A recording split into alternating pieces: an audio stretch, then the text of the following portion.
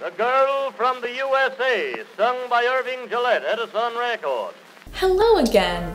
How's it going? So, like many other people during this pandemic, I applied for unemployment as I was furloughed from my full time job. In doing so, I was given like twice the amount of money that I made at my job. Instead of saving all of it like a normal person, I decided to shop. Just a little bit. I'm not saying the American government is good at all, but this is one perk that I was very happy about. Also, the pandemic is not good, and I'm not celebrating that. I'm just grateful to be able to survive. And because I was staying home, as everyone should have been doing, I wasn't working, so I didn't have to dress comfy like I ended up doing. Now that I'm home, I can be back to my normal self and dress all vintage again. Aren't we all happy about that? Which is kind of the opposite of what most people are doing. A lot of people are taking this opportunity to dress comfortably. Since I've worn like all vintage, I've gained a little bit of weight. Just a little bit. So I can't really fit all of my old amazing pieces because I was very depressed back then and was a very, very low weight. Can't wear those, but I want to still wear vintage and blah, blah. Here we are. I'm buying stuff. and this isn't all clothes. This is just going to be a collection of all of the vintage things that I purchased during this pandemic. The first thing is actually this amazing rattan picnic basket style suitcase. It's huge. I actually found it on my birthday and it's amazing and it was $5. So all of my vintage goodies that I'm gonna show you, apart from one really, really big one that I'm saving for the end, are inside of here. I'm making you taller so you can't actually see. So I'll start with undergarments. I did purchase quite a few of those because I thought I'd misplaced one of my favorite sets, just right here.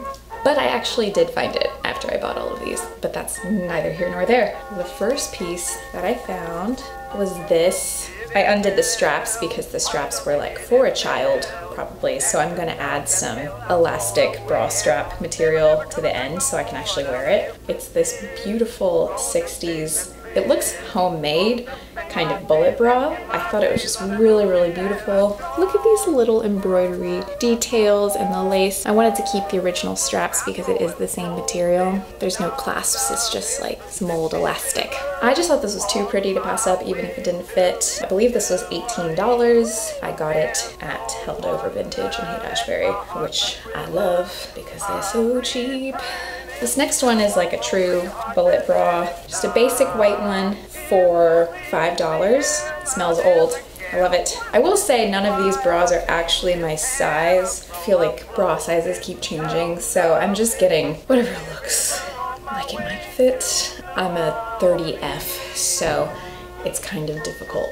So the third undergarment piece I got was also on eBay, was also $5. It's this little bustier, and then I found out that it was from the same seller, so I got both at the same time. It claimed to be 1950s, and considering the shape, I'm gonna go ahead and stick with that, but it's just in really good condition. It doesn't seem that old. Okay, this next one is the one. I would throw all these in the freaking fire just to keep this one. Not that that would be an option. From 1947. It fits me like a dream. It looks gorgeous. This is my pride and joy. I got it at my favorite vintage shop, Relic Vintage on Haight-Ashbury. I love it. I wore it under all the dresses that I tried on and it just made everything look amazing. I also got a couple of slips from Decades of Fashion on Haight-Ashbury. I just had like a vintage Haight-Ashbury shopping day. So, so I got this white slip, just got some little eyelets, flowers embroidered at the top. I actually wore this as a top um, with a cardigan and a little skirt right here. and I also got a basic nude slip. Nothing special about it, just cute vintage one. They were both $10.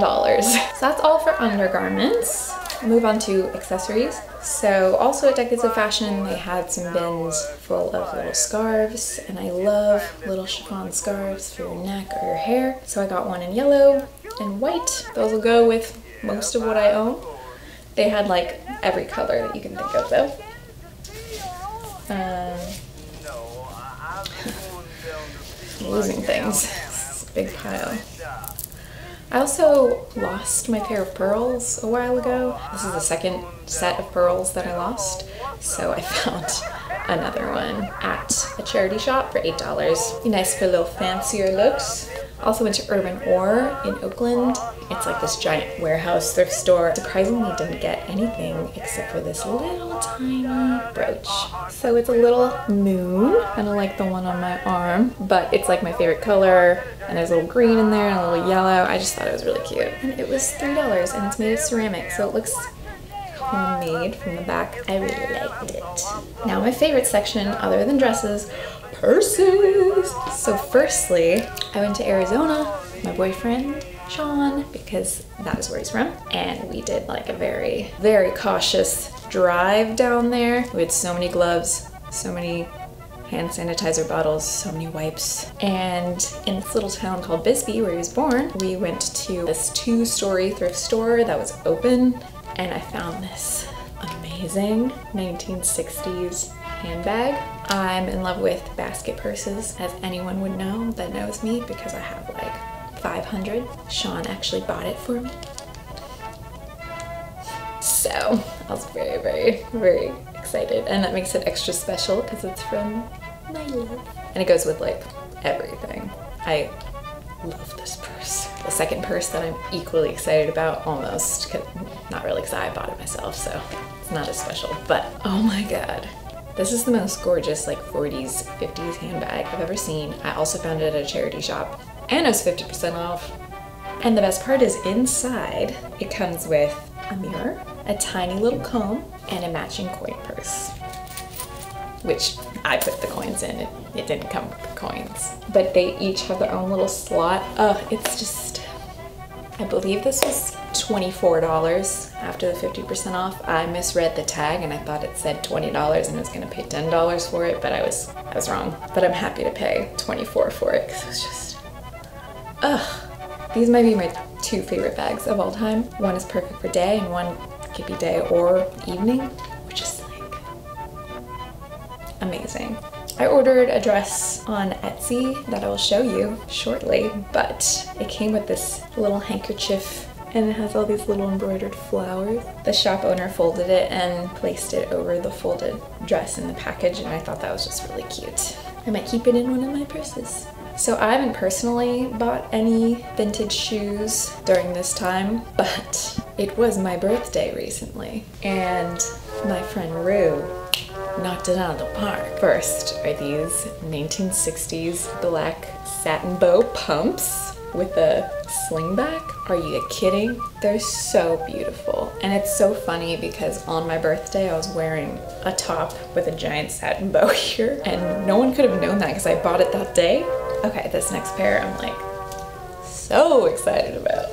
Oh, look at these. They're like a little wedge and they also have a satin bow because obviously but these are from the 1940s they're darling they make me feel like Teresa Terrellson from LA Noire may she rest in peace I'm like almost afraid to wear them too much because they're so old, but they're in amazing condition. They don't make shoes like this anymore. They just don't.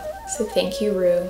I am truly blessed. Guess we'll move on to separates because I only have one of each. I got this secretary blouse in my favorite color and it has a necktie, but look at these buttons. These are the most beautiful buttons you've ever seen. Unfortunately, it appears this was made for someone without a bust, for it squishes me down. I'm determined to find a way to make it work. Next up is this amazing for a screen pleated wool skirt. I just loved this color. It was obviously too big, so actually moved the button so that it would fit my waist, and now it's perfect. I wore it in my last video if you watched that. This color goes with everything in my closet. I believe this is the first thing I bought in this haul, besides the purse that Sean got for me. I think it was $8 or something. Time for the finales. I actually just got this one the other day. It was on the dollar rack so I was like, Heck yeah, but it wasn't actually a dollar. It was put on by someone else. But it's this really cute, basic A-line dress. I don't know how to describe it. It's actually from the 1970s. I really liked it. Polka dots are just a happy, they're a happy print. And this color is amazing. Funnily enough, the brand is Shelley's Tall Girl for over five foot seven. I am five foot three, but it was able to land at a very flattering length. This next one is a tragedy. It is gorgeous. It was affordable. It is from the 1940s. Look at this. Oh, I absolutely love it. The color, spot on. The waist, perfect fit. Everything about this was perfect. And it was only $62. However, I wore it on my first day back to work. And without my knowledge, both armpits ripped. I thought it was only one, then I was just folding up all these clothes for this haul and saw that the other one was also ripped. Oh my god, like I don't know how I destroyed this. I'm hoping I can find a seamstress or someone that can take on this task. The grand finale of the clothing items is next. This item is my biggest splurge, probably ever actually. like this is the most expensive piece of clothing that I own, but I've never looked better in a piece of clothing in my entire life. I'm pretty sure it was tailor made for my body. I also got this at Relic Vintage and I am friends with the owner and he knows me too well and he's too good of a salesman. But I told myself this would be my birthday dress. I like to get a vintage dress for my birthday every year. I will say how much I paid for it just to be transparent, but I'll show it to you first. I'm so excited about Have you ever seen anything more beautiful in your life? I am not a print girl. I'm just gonna say it, especially like loud prints like this. He picked it out for me and I tried it on and it looked like this in the fitting room. I had to get it. It's a 1950s Kamehameha brand dress made in Honolulu. Not a lot of people know, but I actually grew up in Hawaii and my dad was born there in the 50s. So this dress was made in Honolulu in the 50s just like he was. It's just so perfect. It's just perfect. I love, I think my favorite style dress besides shirtwaist dresses is like spaghetti strap. Um, as for the price, dad, if you're watching, this is where you cover your ears. It was $350. That is the most I've ever spent on a piece of clothing, I'm pretty sure. Maybe anything, actually. I like bargains, obviously. Most of these things were very, very cheap, but I decided to treat myself with this most beautiful dress I've ever seen. I'm not even like a hot pink person, but I don't know, this just, it works. May not be everyone's cup of tea, but I love it. Also, it pairs perfectly with my new purse. Now, I don't want this video to send the wrong message. I have done a lot of saving. I have more money now than I've ever had in my entire life. I'm still paying my bills and my rent and saving and I'm, I am working again. So I don't want it to seem like I was just like, mm, heck it, let's just spend all my money. Obviously that was a very expensive piece. And other than that, the dress that has all the holes in it that was $62 was the second most expensive thing. So typically I like to keep it very cheap, but I just got really excited about wearing vintage again and trying to find things that fit my new body. I'm probably gonna get rid of a lot of stuff too. So if you follow me on Instagram, check my stories and stuff like that for when I'm gonna be posting stuff to sell. This is my Instagram if you're not following me, because why the heck wouldn't you be? As for the true grand finale, that is not clothing or accessories or anything like that. It is a 1960s stationary bike. For some context, I have been a lot more active during stay-at-home orders, so I wanted something that would make exercising at home very easy. And I mentioned to my boyfriend that I wanted possibly to get a stationary bike for my apartment. But I didn't think I would find the one made for me. Everything about it is perfect. Um, the color matches everything in my apartment the fact that it is vintage. It works perfectly. It has an odometer on it and it's had 15,000 miles already ridden. instead of sitting around watching TV all day, I can sit and move my legs and watch TV all day. We were thrifting the other day and we were in there for maybe two minutes and Sean came to find me and said, I found something you're gonna want.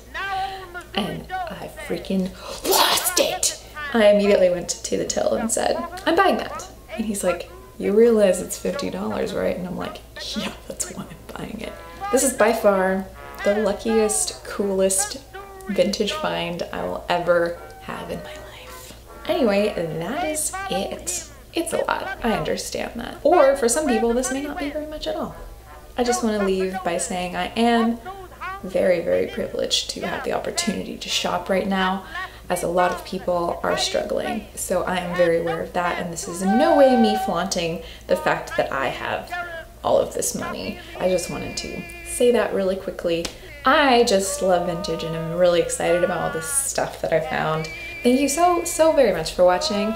I really hope that you enjoyed it in these dark, uncertain times. I really want to try and bring some joy. Let me know in the comments what some of your favorite vintage thrifted finds were. And if you liked this video, stick around by subscribing. Cat fur.